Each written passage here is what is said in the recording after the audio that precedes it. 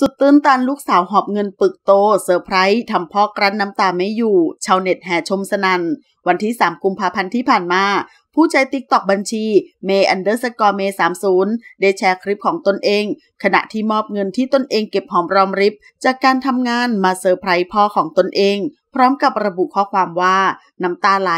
แบบเราทำได้แล้ว เซอร์ไพรส์ตอนกำลังทำกับข้าวให้เราไปทำงานเลย โดยภายในคลิปนั้นเป็นภาพเหตุการณ์ ขณะที่คุณพ่อของเธอกำลังแกะกล่องพัสดุที่ลูกสาวของตนเองนั้นนำมาให้ ซึ่งลูกสาวบอกว่าเป็นลอตเตอรี่ แต่เมื่อเปิดออกมาดู ก็ทำเอาคุณพ่อนั้นถึงกับน้ำตาไหล ร้องไห้ออกมาด้วยความดีใจ เพราะว่าภายในกล่องนั้น กลับเป็นเงินปึกโตโตพร้อมระบุข้อความภายในคลิปว่า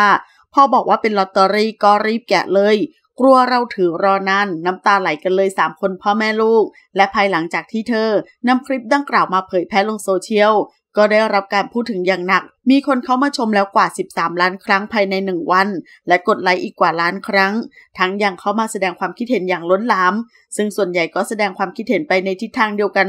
ว่าเป็นคลิปที่ทำเอาชาวเน็ตซึ้งน้ำตาซึม บางส่วนก็รู้สึกตื้นตัน และภูมิใจแทนพ่อแม่ของเธอ ที่มีลูกสาวที่กระตันยูเช่นนี้ ทั้งคลิปของเธอยังเป็นแรงบันดาลใจให้กับใครอีกหลาย ๆ คน ที่จะทำหน้าที่ของตนเองให้ดีที่สุด เพื่อจะทำให้พ่อแม่ภูมิใจ ซึ่งอย่างไรก็ตาม นอกจากคลิปลิปที่เจ้าของคลิปรายนี้นำมาให้กับคุณพ่อของตนเองแล้วนั้น ก่อนหน้านั้นเธอก็ได้ลงคลิปเซอร์ไพรส์คุณแม่ของตนเองด้วยเช่นกัน ซึ่งคุณแม่นั้นก็ได้รับเป็นสร้อยทองเส้นโตทำเอาคุณแม่ของเธอ ยิ้มน้อยยิ้มใหญ่เลยทีเดียว โดยเธอได้ระบุข้อความว่า เห็นแม่ยิ้มก็หายเหนื่อยแล้ว ขอขอบคุณข้อมูลจากข่าวสดขอบคุณค่ะ